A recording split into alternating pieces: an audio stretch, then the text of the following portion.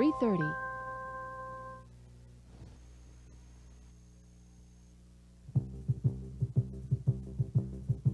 Muse is really a mirror held up to society. It shows us who we are, how we are, and what we're doing.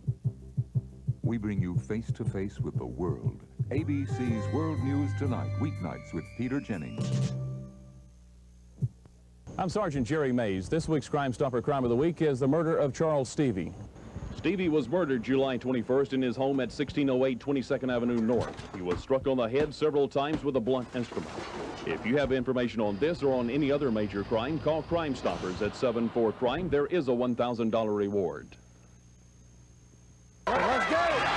It may not be the Hatfields and the McCoys, but the competition is just as exciting as Richard Dawson hosts the Family Feud.